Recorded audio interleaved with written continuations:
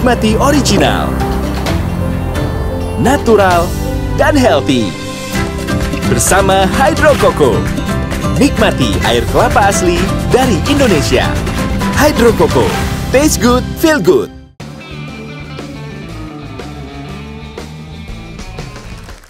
Dipersembahkan oleh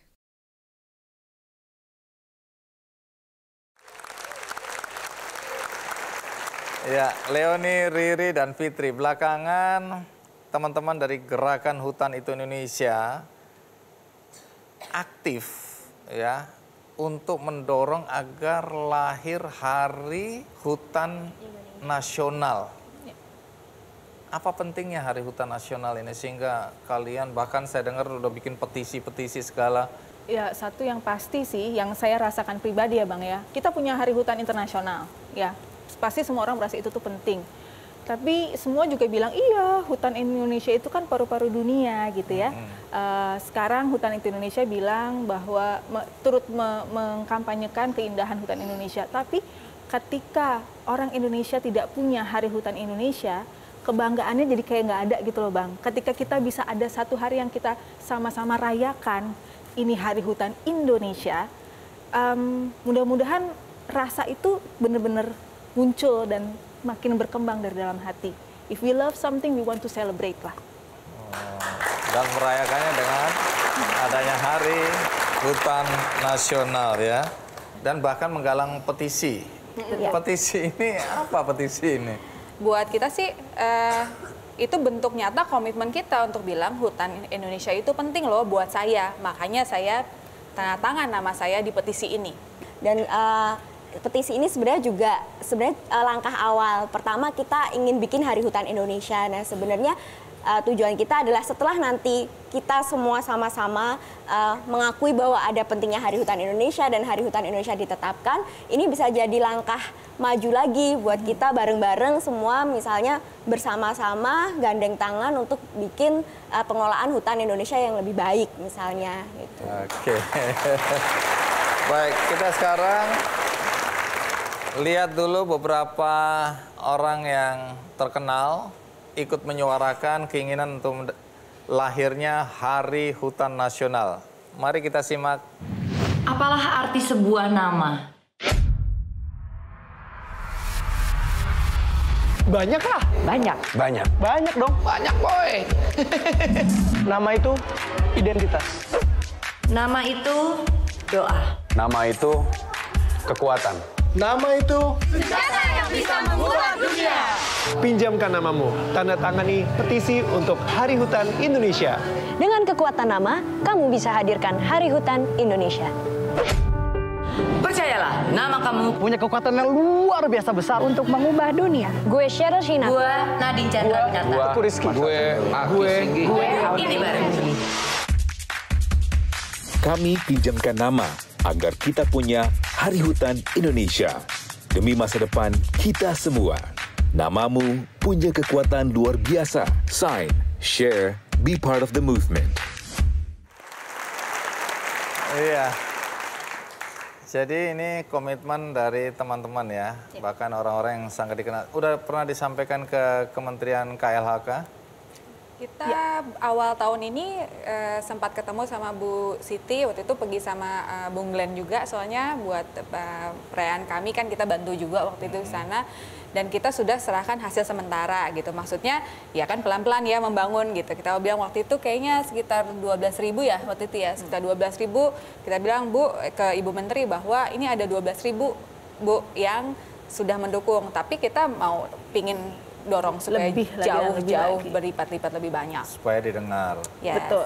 Makin Baik. banyak kamu bersuara kan. Iya, supaya didengar, maka lebih baik disampaikan langsung ke Menteri KLHK Ibu Siti Nurbaya.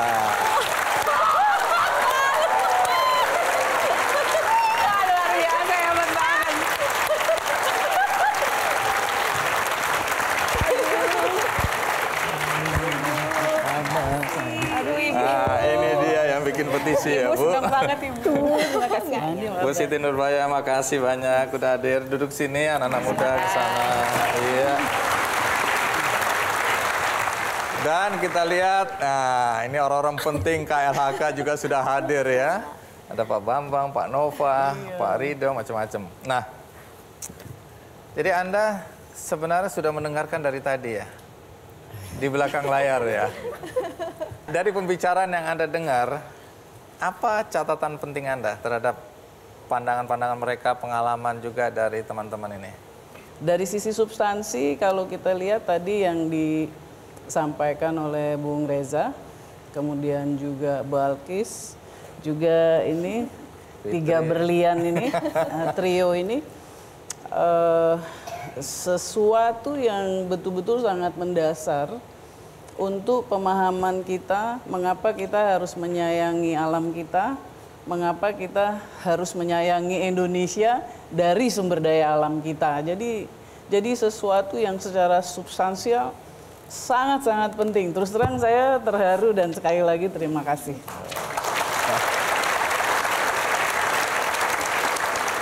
Nah, kalau dari pembicaraan kami termasuk tadi Bung Risa, Bung Caca, itu kan ada perasaan khawatir ya, ya tentang kerusakan hutan kita, terus kemudian makin lahan hutan yang makin menyempit, habis. Sampai di sini kekhawatiran kita ini apakah beralasan atau Anda bisa menjelaskan supaya kita semua nggak merasa khawatir atau risau? Saya khawatir juga. Tapi eh, dia berbeda dari tidak optimis. Oleh karena itu saya juga khawatir tapi kita harus optimis. Yeah. Itu dulu yang penting. Kenapa saya khawatir? Eh, karena memang setelah saya ada di dalam, kelihatan bahwa beberapa hal sudah dalam waktu yang sangat panjang itu belum tertangani dengan baik. Misalnya illegal logging, misalnya lagi eh, bagaimana masyarakat lokal, masyarakat adat, misalnya dia menangani sesuatu di dalamnya tapi lalu dikejar-kejar misalnya seperti itu. Jadi ada hal-hal seperti itu yang masih terjadi yang di era pemerintahan Presiden Jokowi ini sedang dibenahi Bang Andi. Dan yang lebih penting lagi eh, yang saya lihat dan sedang kita benahi sekarang adalah bagaimana peran dunia usaha korporat itu bisa lebih harmonis dengan masyarakatnya yang ada di situ yang kadang-kadang bukan kadang-kadang malah sering udah ada duluan daripada mereka hadir di situ.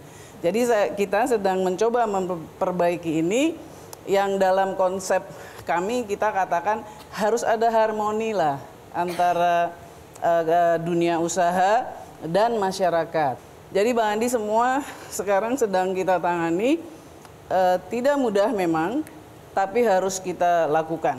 Mungkin ada yang mau bertanya langsung tentang apa saja boleh, soal petisi juga boleh, harapan juga boleh, kritik juga boleh. Iya.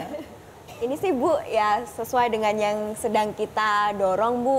Uh, boleh dong Bu kita uh, bikin Hari Hutan Indonesia. Oh, kembali ke Hari Hutan. Nah, yeah. kalau Hari Hutan gimana itu? Saya uh, menyambut baik gagasan itu karena tadi alasannya juga disampaikan dengan bagus bahwa ada kesadaran bersama, ada tekad, ada arah untuk menetapkan ciri identitas kita. Uh, tapi tapinya bukan berarti tapi nggak boleh nih ya, tapi kita harus uh, pelajari lagi bersama-sama kaji karena sudah ada delapan hari peringatan yang terkait dengan hutan, uh, lingkungan dan bumi. Saya selalu mengikuti setiap petisi yang terkait dengan lingkungan, Bang Andi. Sebab uh, uh, kalau kita mengikuti itu baik, kalau kita nggak ngikutin kita bisa kegiles, ya. Jadi saya ikuti. Iya. Terus terang salah satu hal yang membanggakan ketika saya berada di dunia internasional itu adalah satu dukungan dari seluruh masyarakat ini, Bang Andi.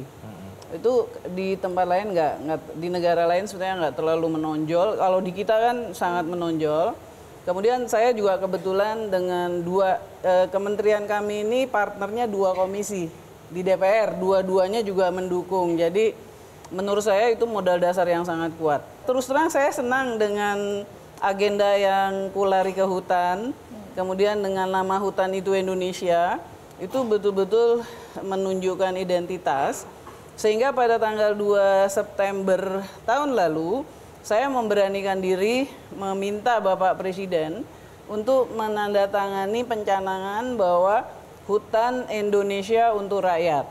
Itu sebetulnya terusan dari hutan itu Indonesia. Terus harus ada terusannya, hutan Indonesia untuk, rakyat. Itu sudah ditandatangan Mbak Andi. Sudah ditandatangan Bapak Presiden pada tanggal 2 September. Kalau pilihan-pilihan tanggal saya kira nanti kita harus mengkajinya dari semua perspektif ya. Jadi pada dasarnya pemerintah sangat menyambut baik. Saya nanti akan melapor Bapak Presiden karena otoritasnya tetap di Bapak Presiden walaupun eh, walaupun sudah ada delegasi kepada menteri boleh menetapkan yang mana dan sebagainya, tapi tetap kami kita kaji dulu bareng-bareng apalagi udah dari change.org ya. Nah, itu itu bagian yang serem itu mesti. Nah, jadi kita kaji nanti bareng-bareng Iya. Terima kasih, mudah-mudahan satu hari kita punya hari hutan nasional. Baik, sekali lagi terima kasih Bu Bang sudah meluangkan waktu untuk kami semua untuk berbagi juga pandangan pemerintah dan eh, kebijakan-kebijakan pemerintah dalam konteks untuk menjaga hutan kita. Dan seperti biasa di akhir acara ini saya akan bagikan satu buku bagus ya. Judulnya The Miracle of Thinking Big. Dan ini akan saya bagikan untuk Anda semua. Apakah sudah menerima buku ini? Apakah bahagia?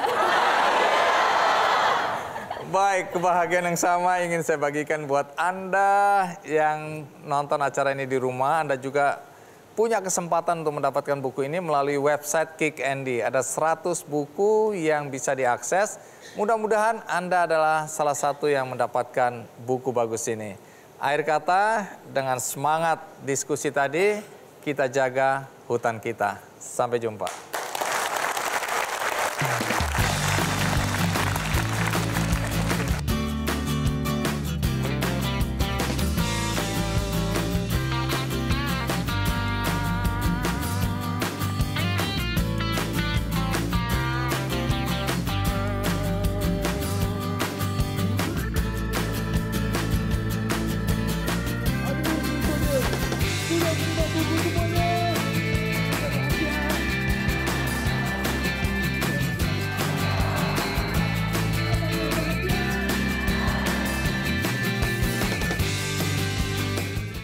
Dipersembahkan oleh